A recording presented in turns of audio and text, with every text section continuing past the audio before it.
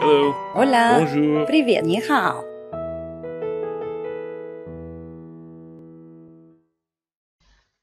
Hello and welcome to Language with Two. I hope you watched the first part uh, of this uh, presentation. Uh, please click uh, above and watch that first because will, it'll give you the content of what I'm trying to talk about.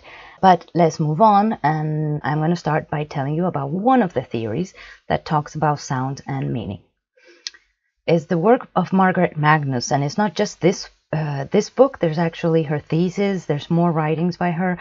I find her excellent personally. She's made me think a lot about words uh, and how, what they really mean, actually, and uh, and sounds. But let me give you a, give you a brief uh, explanation of what she talks about. She called it phonosemantics, so meaning of sounds, right?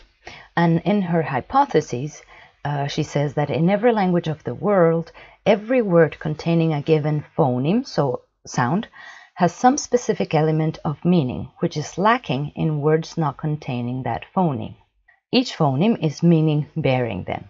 So what that means is that, I'll show you in a, in a second with an example, is that each sound, say p, b, t, a, a, whatever, has a, uh, a meaning, an intrinsic meaning, and that is what she calls a phonestheme. So that would be the smallest chunk of meaning in language, not the phonemes. Meaning, you have to break it down in two things. Meaning is the reference, like I showed in my earlier video uh, about the tree, just the, the meaning of the word.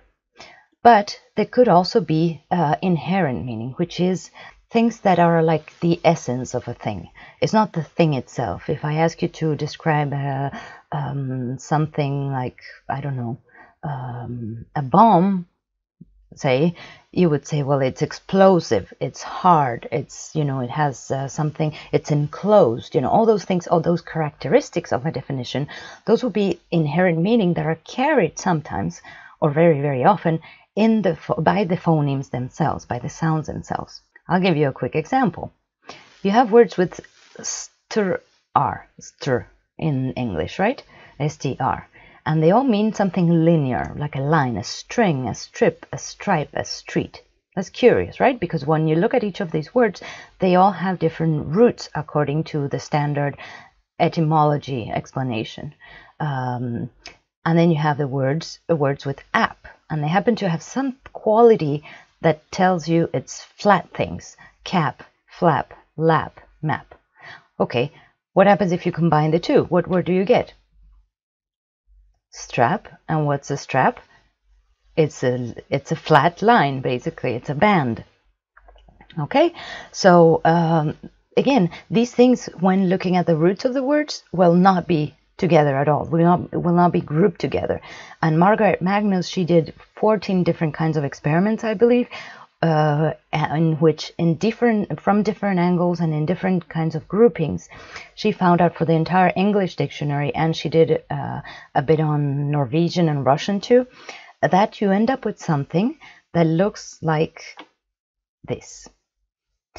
For the sound b she grouped words. Every word that had um, that didn't have prefixes and suffixes just the, the main core of the word uh, without roots uh, without uh, affixes if you want she uh, grouped them and she said, okay, some of them have to do with explosions. Uh, some of them to have to do with badness. What's the quality that these words share in common, right? And she ended up with this this kind of grouping where uh, all the words that start with B will have one of these characteristics.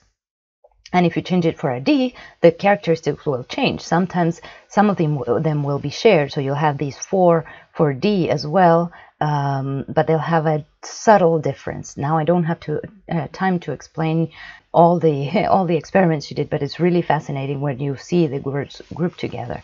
Then she explains that uh, each language will choose to group these essences a little bit differently, and that would explain why we don't use the same words in every language. So Russian, for example, this is not the the actual analysis. This is just for a visual representation. Russian would use words starting with B to also represent big and bulging things or fire or light, but they, for badness, they chose, I don't know, the G sound. Okay, so each group, Norwegian would have done the same with another group of words, etc. Each group will have been, uh, its sound will have been divided by that. And then it gets fascinating because she starts combining those sounds, saying, well, what happens if you put the B and then follow that with an R? Or what happens if you have G alone and G and L, etc.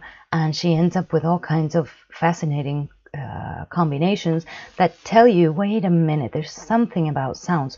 Of course, the B doesn't have a meaning in itself, but the B could have could convey in one uh, word uh, all these little traits of a word.